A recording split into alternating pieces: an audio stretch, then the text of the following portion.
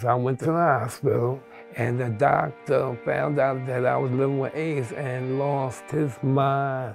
Made me feel like I was a leper from the Bible. Get out, I'm not touching you and you got AIDS. And he was a doctor, a medical professional. If I wasn't coming to Siloam, I wouldn't have been prepared for that kind of stigma. The world is not exactly a very loving place all the time. So Siloam has been a magnet for those who need love.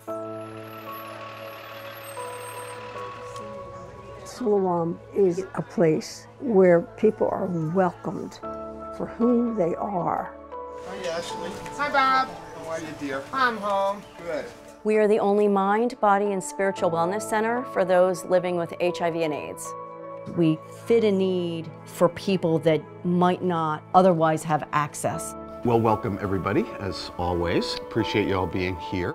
We have people that have been coming to our HIV support groups for 28 years. This is a sacred and safe space.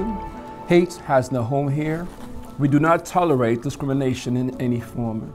We have trauma support groups, we have grief support groups. We try to give a broad variety of classes. Anything that we do, we just want it to be life-giving for them. And it was only local for many, many years. And then this thing called COVID happened. And I said, okay, this is my opportunity. And within four days, I had every single group that we ran was online. And now I could go in to find help and say, anywhere. 95% of our online folks come through Find Help. That's a lot. Find Help gets the people to Siloam's door. There are people who come from North Carolina, Oklahoma. There's a lot of people from Philly. There are people from New Jersey.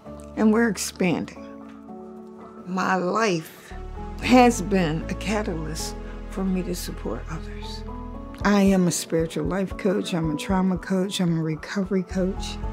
So I'm there for them.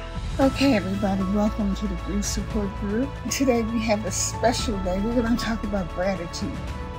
When I came to Siloam, when I said family, I'm home. It's a place to be loved, to be respected. The HIV is something that's in me, but I'm more than HIV. And that's what Siloam gave me. That's beautiful.